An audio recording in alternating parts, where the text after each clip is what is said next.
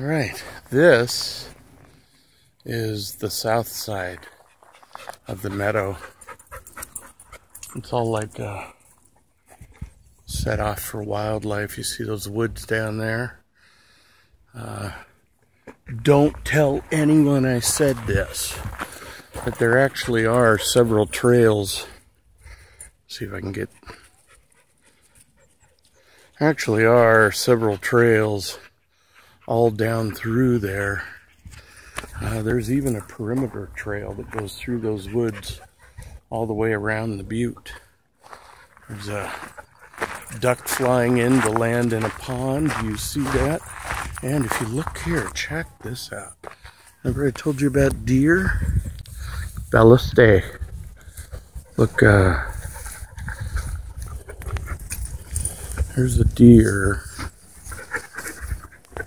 very near. Uh, another one, come on. Pond. It's right in there.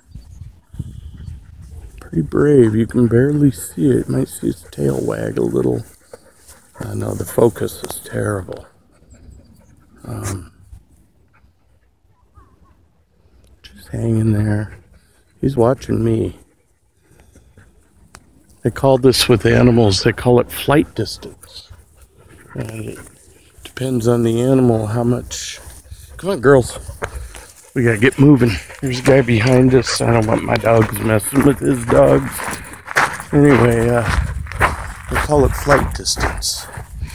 It's how close a deer will let you get, or an animal will let you get before it